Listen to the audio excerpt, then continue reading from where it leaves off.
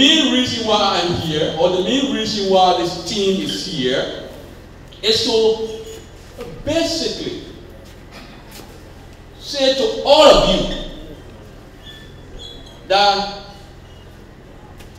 by the 29th of this month, our friends, the Omo people who have been with us here in Omo, they will basically be leaving from Bomi. And the government believes that we should not we should not allow you to wake up one soon morning and then you look around, you don't see the Omo people, and then you start to panic. The government thinks it is proper that we come to sit with you, to hold a conversation. You know, what precipitating, what making the Omo people to draw down slowly is speak to the security of Liberia. That Liberia is safe and secure and by extension, bombing is safe and secure. That's what it seems to.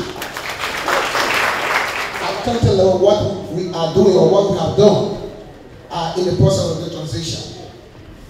We have been able to form the Counter Security Council, and that Security Council uh, did not just rest at county level, it filtered to district level, have the District Security Council, we moved to even the Clan Security Council.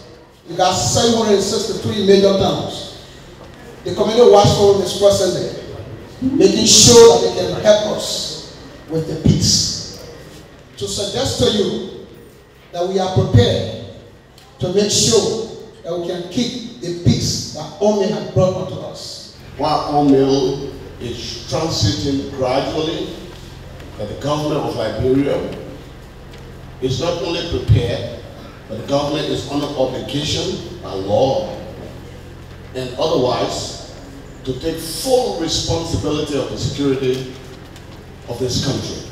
This Ome transition plan by the government of Liberia is not just a government plan, but it's a plan being implemented in direct consultation, in coordination and collaboration with the UN Security Council. What is the plan about? The plan recognizes that by June 30th, all security functions of the state that are being in the hands of the United Nations should be turned over to the security forces. And the security forces include the Liberian National Police, the Bureau of Immigration, uh, the DEA, uh, the the intelligence bureau, including the NSA, and other security apparatuses, including uh, fire service. Right now, UNMIL is providing VIP protection. The VIP protection is supposed to be handled by EPS, Executive Protection Services. UNMIL is also providing, used to provide cash escort, taking money from one bank to another bank, from one county to another county. The police is supposed to perform those kinds of functions. So there were eight immediate tasks that only were performing that were by, by, by, by June 30th. The plan has decided to train the security institution adequately so that by June 30th, when only leave, all of these institutions will be able to perform all the eight major tasks. Like you are aware, UNMIL has been in Liberia since 2003. And before then, the ECOMOG was here under the ECOWAS. ECOWAS came in, did their own, and left.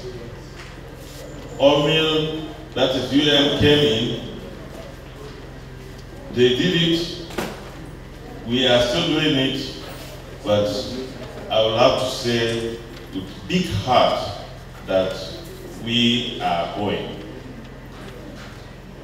Where are we going to? I know you may wish to ask. We are not running away. We are not abandoning Liberia.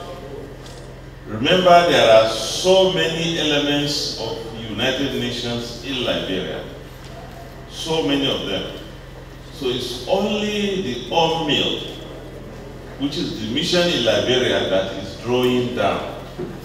And that's why we are closing this field office and all the army personnel are moving back to Monrovia where they will consolidate and continue to function